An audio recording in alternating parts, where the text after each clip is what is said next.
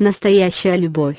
Привет слушатели, оставьте комментарий, нажмите на колокольчик. Предмет – настоящая любовь, и это то же самое, что и самодостаточность студенческой вечеринки. Вчера я и Димаш разошлись на целый день. Я хотел провести день безопасно и хотел послушать песню. В результате этого выглядит так, хорошо, давайте будем серьезными. Как сказал сам Димаш, это особенный день. На первом концерте в Китае я спел много новых песен, которые еще не появились. Дорогие наконец-то увидели, как он танцует танец. С технической точки зрения, он потратил много усилий на эту династию и хотел показать нам более захватывающие выступления, чем Бастау. За последние три месяца я не знал, что он спал несколько часов, и все его коммерческие выступления были наполнены черными глазами и опухшими лицами. Мы только увидели это, а затем попытались схватить жару и посоветовали ему позаботиться о себе. Мы были очень огорчены в то время, но эти истощения,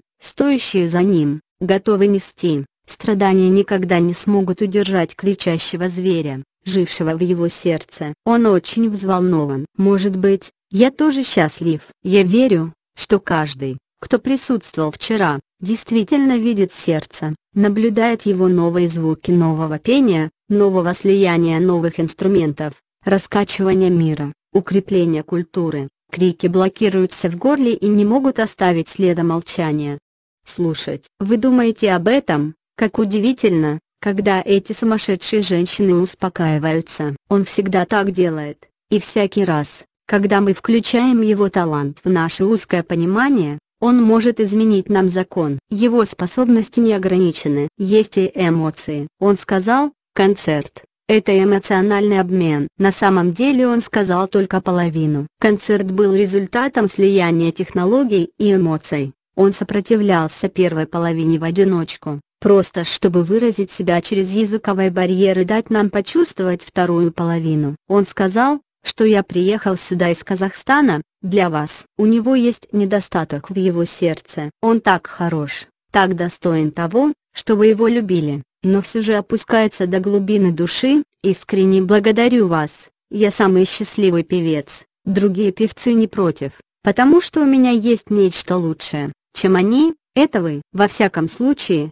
я вас не знаю, я плакал в тот момент, когда увидел это предложение. Я не ходил на сцену, я не могу сказать, какой аудиовизуальный праздник принес на сцене. Но я хочу сказать, что он всегда исполнял музыку, и то, что он хочет выразить нам, это сердце, полное любви и благодарности. Всегда был. Я до сих пор помню большие китайские иероглифы, написанные на большом экране на концерте, спасибо, что заставили меня почувствовать, что я не одинок. Вы не одиноки, вы не одиноки. Как голова, чтобы успокоить маленького ребенка. Сердце тает в кусочек хлопка. Когда я только приехал, каждый раз, когда я скучал по родному городу, нас терпеливо умиротворяли. Он знал, сколько мы за него заплатили, как сильно мы его любим, а его сердце похоже на зеркало. В то время даже мы лично не наградили такую сладкую корону, как уважаемые. Ах,